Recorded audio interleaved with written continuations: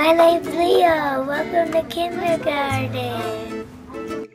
Everyone should spend a day in kindergarten to remind us what it was like to learn things for the first time, like responsibility and independence, and our world around us with morning weather, counting the days of the week, and the letter of the day.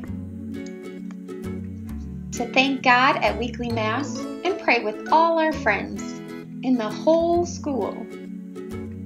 Have brain breaks and enjoy the outdoors. And use technology in creative ways that enhance learning, math, writing, and reading.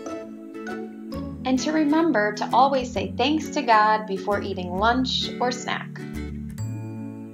And share stories, smile, and laugh. To be creative in music and art class. And listen to and read our favorite books in the library. To be a good friend, to share and enjoy each other.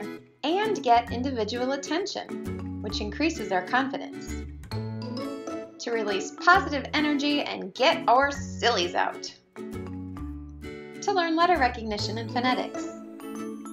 To thank God for a wonderful day. And always be respectful and disciplined. And to simply enjoy each other. Especially when each day ends with a huge hug.